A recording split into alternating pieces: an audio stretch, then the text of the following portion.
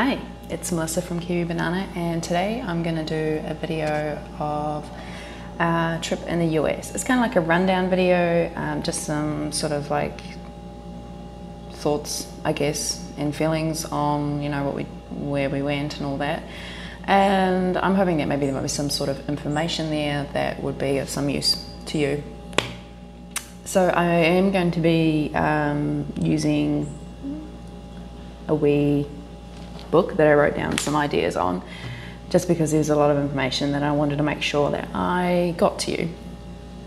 And so we, during our trip, we were basically in the US for a month. We spent um, a few nights in Las Vegas. We spent about two nights in Reno, and we spent um, two nights on the road. We spent about a week in San Francisco and about a week in Los Angeles.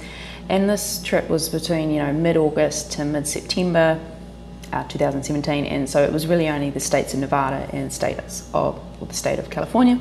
So this really only those two states that we um, spent time in. So our trip in Las Vegas, it wasn't cheap, but it all just depends on what you do. We went to like a magic show and that was like 90 US dollars for the two of us and there was quite a lot of um, vegan options at a lot of the Mexican fusion places, which was really good. Uh, we also got our bikes stolen there as well.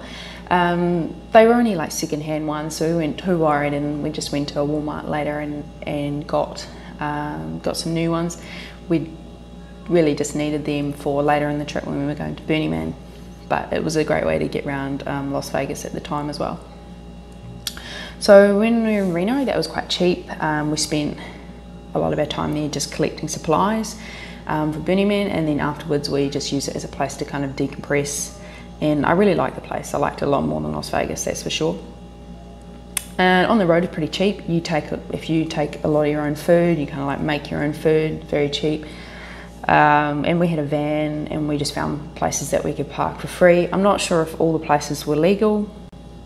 But, um, but yeah, there's definitely places that you can park like your van or whatever for free and just, you know, sleep in overnight. And uh, we went to places like Lake Tahoe to have a look. Like, you know, we didn't stay in those sort of more expensive places, but, you know, we went there to have a look. Didn't really cost us anything, obviously, other than the petrol. And uh, yeah, it was good. It was just good to get a little bit of road trip in there um, while we were in the US. Uh, Burning Man is quite cheap while you're there because you can only buy two things that you can actually use like your currency with and that is ice and coffee um, because it's all based on a gifting community. However it does take quite a bit of organisation and money um, to get there and have supplies for while you're there. Definitely the best part of the US trip for me and that's the main reason why I wanted to go to the US was so that I could go to um, Burning Man and um, I'll do some more videos on it soon. One of our bikes got taken while we were there, um, but they were just, you know, cheap Walmart ones, and we were just going to be um, giving them away afterwards anyway, so we didn't really need them after after Burning Man. Uh, we tried our best to try and find it, but there's a lot of bikes out there, like 70,000 people, nearly pretty much everyone's got a bike, so it's a lot of bikes, and um, unfortunately we couldn't find it. Oh well. Now, San Francisco is not cheap, but again, it just depends on what you do. Uh, there are my kind of, a lot of my kind of people there, very artistic. It was really, you know, it was really good to sort of be in that vibe. And, you know, lots of vegan food places, heaps of healthy vegan food um, options as well. You know, not just um, vegan junk food. And um, so we went to a place like Alcatraz, which was like Mm, about 70 US dollars for two people, and that was included in the, you know, that included the boat ride to get there and, and get back to the mainland.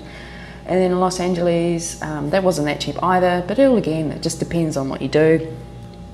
Um, you know, there seemed to be a lot of people there trying to be, you know, trying to get famous, um, sort of in that sort of industry. And, but, you know, they're still nice people. And, lots of vegan food places again and healthy vegan food options and and we went to a place like Six Flags which is kind of like a roller coaster park and for the two of us it was like 80 US dollars. There wasn't a lot of vegan food at the place, um, but that's okay. So I guess my best tip I can give you is to do your research. Um, you know, and give yourself a bit of time too. Like maybe do your research.